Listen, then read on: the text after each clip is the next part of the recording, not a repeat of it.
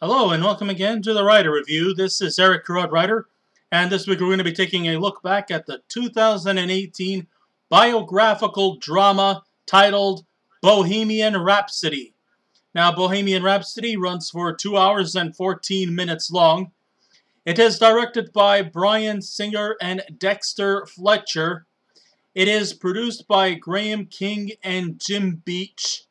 See, Bryan Singer originally was to, to be the sole director, but then during the middle of the project, he eventually got fired due to several disagreements on the set and lack of dedication and lack of good ethic.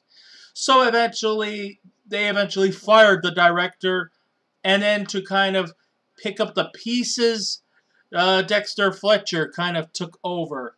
Okay, the production, like I said, was Graham King and Jim Beach. The script was written by Anthony McCarten. The story it was based on was by Anthony McCarten and Peter Morgan.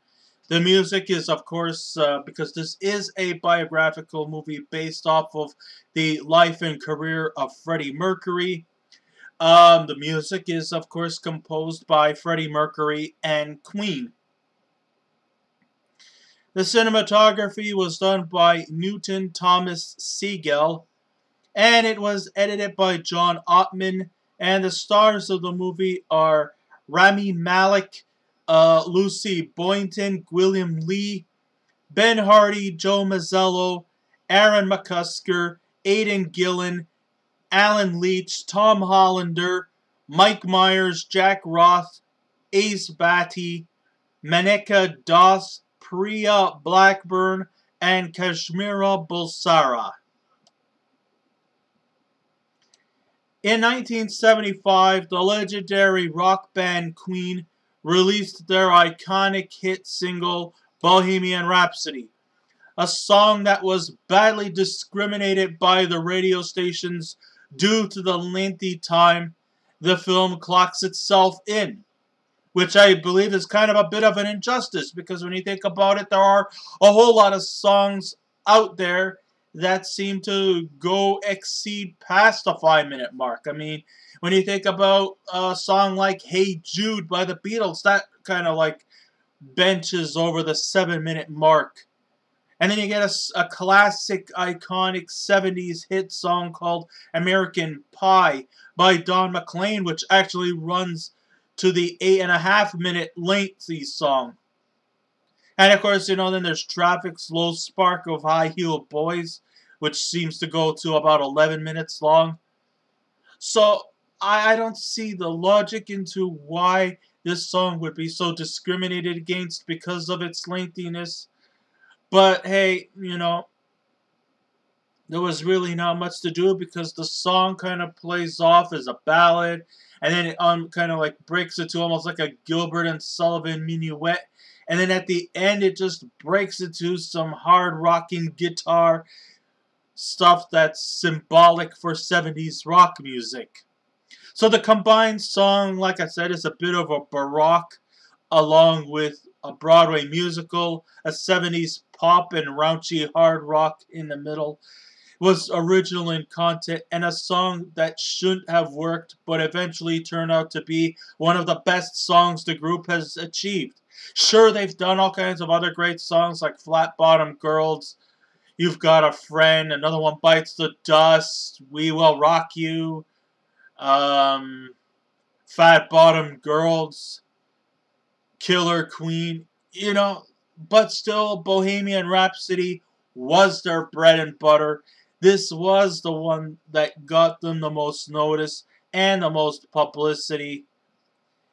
Even though a song like this would probably shouldn't have worked, but it did. It became very popular and it made these guys into household names and, and approximately maybe one of the best bands in rock music in the 70s and even well carrying themselves into the 80s and even up until Freddie Mercury's death in 1991. And you know what? Even to this day, still to um, former members Brian May and Roger and drummer Roger Taylor, they're still they're still performing, you know, with uh, Adam Lambert.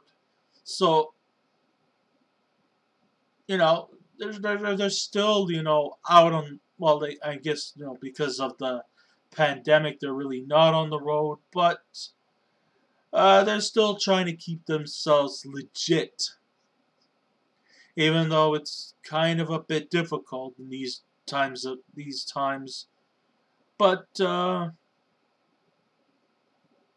you know, they're still trying to, you know, stay within the public spectrum in their best capacity. Yeah, I know they're kind of like a bit long in the face, but hey, I guess this is just their livelihood. So why stop them? But eventually, the lyrics are definitely filled with gibberish, random subliminal message that might stun even their most devoted fans. But the main attraction is that the beat is catchy and might be etched in your memory for a very long time. I mean, I like the way how it builds up. Like, it starts off as almost like a bit of a rock ballad, and then it becomes like a Baroquean musical. And then all of a sudden it turns at the end into like a hard rock edginess, and then it comes back to its um, 70s acidic fluid progression. I mean, when it comes to progressive rock, Queen is definitely up there. I mean, yeah, there are other bands too, like Genesis and Pink Floyd and Blue Oyster Cult, amongst many others. But Queen was definitely, like, right up there. The movie Bohemian Rhapsody itself is a film that clocks just past the two-hour mark, which is quite short with modern biopic movies about musicians, but also, even though it was praised a lot by critics, and I think Rami Malek actually went on to win an Oscar for his performance, and uh, and maybe well deserved, but I still felt the movie fell flat, and it feels that some important issues of the band's life were either left out or were misinf misinformed and even the main emphasis of the movie is not really about Queen, and that the emphasis was predominantly on the trials and tribulations that surround Freddie Mercury, played by Rami Malek, and less on the other band members, like their personal conflicts have little to no significance. This is one of the biggest flaws here, was that, um, yes, it did feel flat at times. And there was quite a bit of misinformation. And the two biggest misinformed stuff had to do with, you know, Freddie Mercury leaving the band to pursue a solo career. And eventually, by the time they get to Live 8, they have decided to, you know, almost at the 11th hour decide to reconcile their differences. No, that never happened. In fact, you know, when you think about a band's breakup, they always tend to think that, oh, bands break up on bad terms. Well, to be honest with you, for your information, for all these people who, who kind of worship this movie like it's all 100% accurate, it's not 100% accurate. To be honest with you, uh, Queen did not break up on bad terms. In fact, they all kind of praised and encouraged Freddie Mercury to uh, pursue a solo career. I mean, yeah, he was living in France, and uh, you know, just to start fresh and anew. So he decided to, you know, pursue a, a solo career. But that didn't necessarily mean that the other members were against it. In fact, many of the band members performed on a few of his solo stuff. But then again, they were also pursuing solo careers too, or doing solo material as well. Uh, Roger Taylor did a, a a solo did a solo album in the late 70s, and in 1981, Brian May did a solo project as well. And yet Queen was still, you know, together as a group. And, you know, just because they sometimes break away to embark on on solo endeavors did not necessarily mean that the group kind of like completely disintegrate. And John Deacon, the bass player, also participated on their solo projects as well. And they would come in and weave in and out of their solo projects as participants. So no, there was no ill intentions, there was no bad terms, and Freddie Mercury was not the first band member to pursue a solo career. The other misinformed thing was, you know, during the climax, which was to get the band together to perform for Live Aid. Then we discovered that uh, that Freddie Mercury is suffering from from declining health because uh, you know he was dying of AIDS. No, that is not when he was first diagnosed with AIDS. Live Aid was in 1985 when when Freddie Mercury was first diagnosed with AIDS, it was in 1987. That's when the news came about that uh, that he was uh, suffering from declining health due to AIDS, and he did not go out and tell his bandmates that he was dying, and that he didn't go out and tell the public that he was dying from AIDS until like pretty much around near the later stages of his life when he had to finally come out and admit and accept the fact that he wasn't going to stick around very long. So there was a lot of, of, of civil liberties, of misinformation that came within this, this this movie. So you know, it just goes to show you that not not everything that you that you watch in a movie is all 100% accurate. You have to go out and do some research. You know, in my many years of doing film critiquing, I don't just sit down, watch a movie, and forget about it, and just take everything that is given to me for granted. I do go out and I do go look for some research and some information that is actually more concise and more believable than what they're telling us. And it's not like I debunk movies or just dissect them just to make myself feel like I'm a lot smarter than than these people. But it's always good to do, you know, just always, you know, go out and look for for facts, your own facts, and not always just rely or depend on what they're they're feeding us. This is where the biggest thing was. Also, yes, I do, did mention that that the band Queen was pretty much all about Freddie Mercury. Like as if his life and his career mattered most. But I wished that they would have also emphasized a little bit more on the other band members. I mean, didn't they also had conflicts too? I heard Brian May had, you know, came from some troubled problems retaining to his abusive father. That's not really ever touched upon, or the fact of the matter that, aside from him playing guitar for the band, he was also studying for his PhD dissertation to become an astrophysicist because in reality, Brian May can actually be labeled Dr. Brian May. He actually has a legitimate PhD.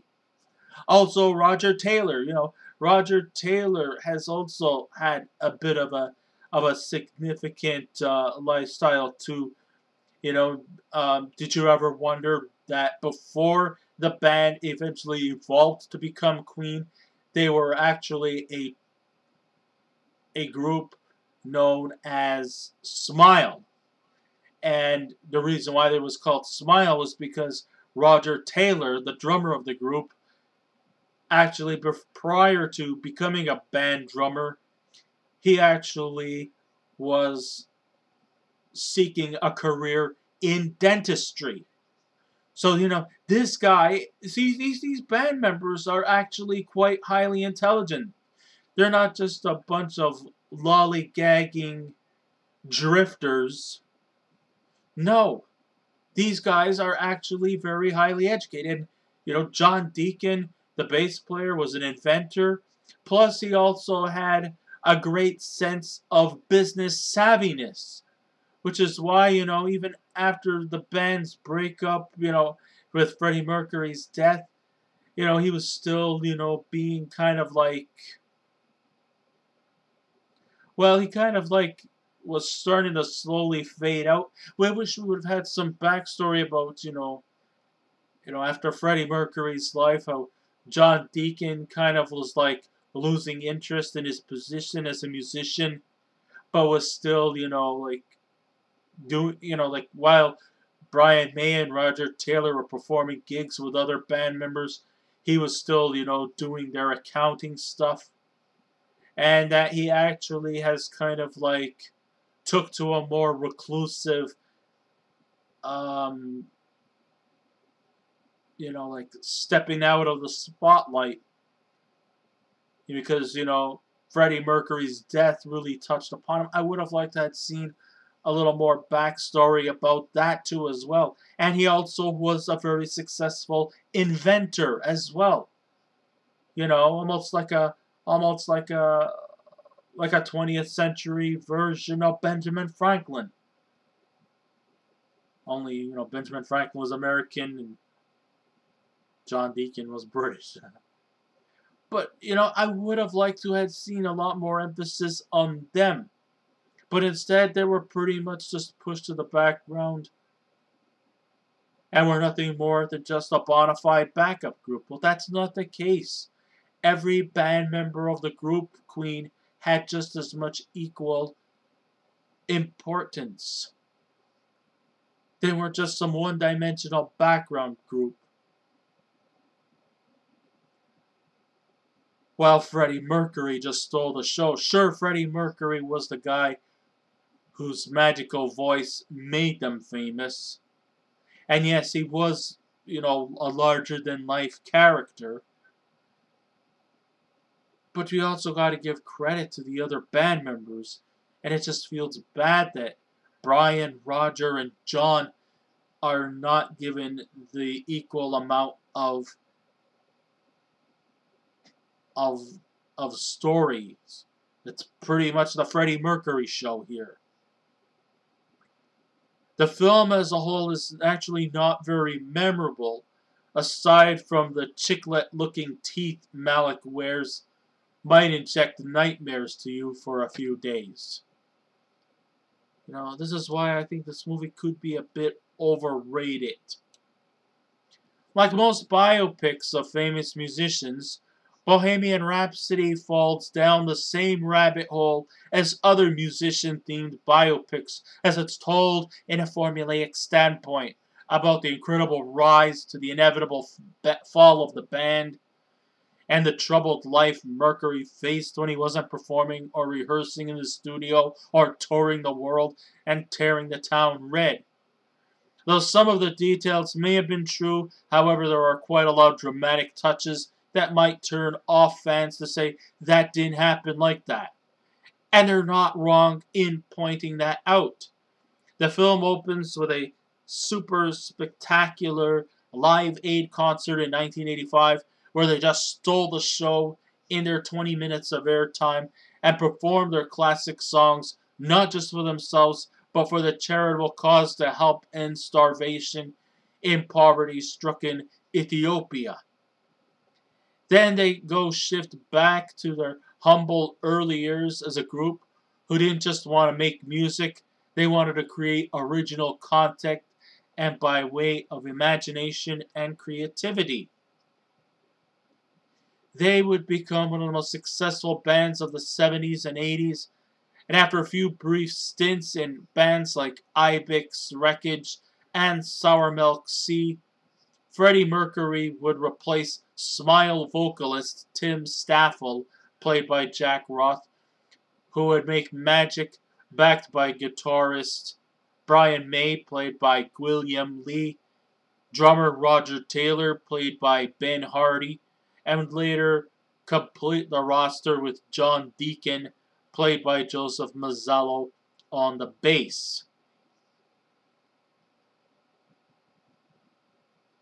Even though they say that the group was a trio by higher... No, John Deacon was actually a member of Smile. Tim Staffel was just a vocalist. Deacon was their bassist too. See, that's our another inconsistency comes in. The issues surrounding Mercury's life are a bit scattered and fragmented as we see him in conflicting issues surrounding his Indian Parsi background, especially with his overbearing father, Bomi, played by Ace Bhatti, and his doting mother, Jer, played by Meneka Das. His business and personal relationships within the bandmates shows a great level of teamwork as they work out of their songs, even while arguing about the arrangements of what to add or omit from each songs. Of course, many people often like to emphasize a lot about the whole Let It Be, Get Back stuff with the Beatles and how sometimes they would work together as a cohesive, friendly environment. And of course, many people often like to chat about, you know, the infamous argument that broke out between Paul McCartney and George Harrison over creative differences regarding the song Two of Us, which actually was much more domesticated than some of the other conflicts that they've had in the past. But then again, you want to know about that's the Beatles weren't the only bands that used to argue about about arrangements of what to add or or omit from each song. A lot of bands did that. The Beach Boys were were notoriously were notoriously bad for for arguing over how each arrangement or vocal or style was coming about. And there was a lot of like conflicts and egos, especially between the songwriting duos, mainly of Mike Love and Brian Wilson. Uh, it happens too with the Rolling Stones, with Mick Jagger and Keith Richards. You know, many times that they've also had their share of arguing and conflicts, and sometimes they would lead to to more explosive stuff too. I mean, they've gotten into to to fights amongst each other, both mentally, both verbally, and also, yes, I hate to say this, there were also a few physical confrontations as well. CCR was noted for that too. You know, which of course led to, you know, you know, like member rhythm guitarist and older brother of John Fogerty, Tom Fogerty, you know, leaving the band because because John Fogerty wanted to make CCR the John Fogerty show. Since he practically did everything, write all the songs, sang most of the songs, played guitar. He was the lead guitarist. He was the great creative mind, while everybody else just pretty much got little to no commission or too much credibility for their for their contributions. You know, ego does play a bit of a of a pivotal role through every band, and Queen is not the only one. They argue. I mean, bands argue all the time. The Gallagher brothers of Oasis, they practically argued with each other too. They practically even sometimes even got physical. And, you know, I don't condone you know, any kind of physical violence or any kind of even verbal conflicting, you know, or insult somebody to hurt their feelings. Still, you know, that's just a business. And sometimes, yes, people say say random shit that does not always sit well. But you know what? You stop, you take a deep breath, and you just, you know, go about. It's business as usual. Sometimes people agree, other times people don't agree. All natural. But aside from that, there are also plenty of memorable scenes where the band was struggling to get the symbolic song Bohemian Rhapsody on the air. And then we get the we get them, you know, like trying to, you know, do the arrangements, you know. There was this one memorable scene where where Roger Taylor was was struggling to reach those high almost falsetto voice to to the song Bohemian Rhapsody and you know he was just really really you know the more the more higher his voice kept going the more Freddie would be like not not like feeling it and you know you know he was I mean he was getting like really pissed through his fucking mind and you know Roger Taylor was almost like at his wits end you know, like I can't go any more higher. How far, how high do you want me to get? You want me to think that, you know, my wife was knitting my pants and she accidentally sticks a, a needle straight up my asshole and I scream to the top of my lungs? You know. So, you know, there was a lot of, of, of, of material that had to be covered to make Bohemian Rhapsody one of the great staple songs of the 70s. And then, you know, while the creative processing was was coming on hands, you would get other great exciting moments of like when they were doing the rhythmic sounds of We Will Rock You, or the time when the band was having an argument, then all of a sudden John Deacon pulls out his bass and starts performing that funky bass to do do, do. Another one bites the dust. Bump, bump, bump. Another one bites the dust.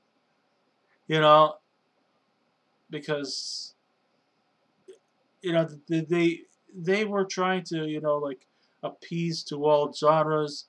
I mean, one minute they would do, like, the musical type of Bohemian Rhapsody to almost a funky disco sound of another one bites the dust some of those scenes were pretty much the best scenes and it will definitely spark some interest. And there's actually a nice catalog of songs featured here, which is surely enough to make any Queen's fan satisfied. But you know what? You know what? Something about Queen? Their music was never about logic or anything virtually complex.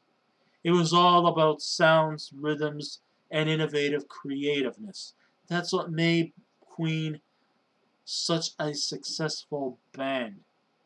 They were about lifting spirits at times when things were rough. And sure, the instrumentation was catchy and original, but it's the angelic voice of Freddie Mercury that carries the group. Unfortunately, the script of the movie is where the red herring lies and it's mainly because it's pretty much by the numbers and really adds nothing new to the format. It's basically Malek copying both the physical and the psychological quirks that Mercury possessed from his outstanding delivery on stage to his cry for help at times when loneliness in his private life or like he would spend many numerous days by himself without the band members and it's like you kind of feel for him. That the loneliness and the isolation that surrounds him when the band is not around or when they're taking time off to spend time with their families. You can see that he doesn't really have much of a family because they pretty much do not approve of him or his music. So he was pretty much, you know, alone most of the time. And that's kind of, you know, you feel for that. But you get to actually, you know, gravitate towards him, you know, as a sympathetic individual. You may think that the guy might be full of life, but the only reason why he also used to throw wild parties and and stuff like that, even just inviting strangers into his house, was because it was just this way to conceal his loneliness. And, and that's kind of like could have been also the main contributor to his inevitable downfall. It wasn't just the fact that he was dying from AIDS. He was also, you know, living a bit of a roughshod style. So, eh, under the script of writer Anthony McCarten and the direction of Bryan Singer, later replaced by Dexter Fletcher, which was another thing that went wrong. Is that, you know, after Bryan Singer was fired and then Dexter Fletcher came in to pick up the pieces, you know, that's where you get um, a lot of um, of things that just don't seem to mesh well. They seem to definitely take the liberty and the use of the story off of showiness and flamboyance, but we never fully concentrate on the troubling conflicts that happened in Freddie Mercury's life. Such issues include his struggles with the press, who constantly hound on him and questioning about his sexual orientation like that really gives a fuck. He tries to conceal his claims, but in the end these angles featured were here kind of look out of place, incoherent, and never really thought of. Yes, there were people who questioned about whether the fact he was gay or straight. Well, okay, to me personally, Freddie Mercury conventionally was a homosexual. I mean, there was no doubt about it. Mercury was gay. But even though he was gay, it didn't actually mean that he did not have sex with other women, too. Did that make him bisexual? No, he was homosexual with hetero curiosity. That's how kind of like I would probably put it in better words. I mean, Mercury was at one time engaged to a young lady who was actually his soulmate. Yes, it just goes to show you that homosexual men do have female do have female soulmates. They could. And, uh, you know, her name was Mary Austin, who, even though he ended their engagement, they still remained on very close terms. The actress who played Mary Austin was Lucy Boynton. And though they were engaged, they never made it to marriage, though they were soulmates. And even after Mary went on to get married to another man and she went on and had kids of her own. The relationship, though, was badly compromised because of, you know, aside from his relationship with Mary Austin, he also had numerous relationships with men. And though they try to tackle the issue with sensitive intentions, it's pretty much poorly structured because they didn't know how to go about this issue without offending anyone. They wanted to try to keep it clean and PC, but it's actually much, much hard to do.